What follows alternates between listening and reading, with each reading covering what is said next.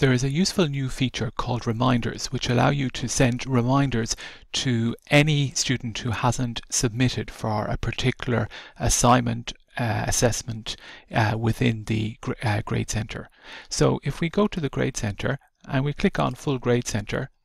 for columns in which students uh, should attempt, be it a quiz or a Turnitin assignment like here or a Blackboard assignment, we can click on the down button here and click on to send reminder.